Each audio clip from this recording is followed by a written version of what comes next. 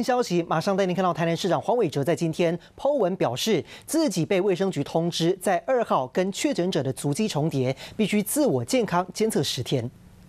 首先开始做，你看啊，你看，已经捅到里面了。然后呢，把这个拿出来，装起来。好，然后你看哦，这个跑过去。C 这边有一一条痕，就表示这个是有效的采样。拜托拜托，不要有痕，拜托拜托。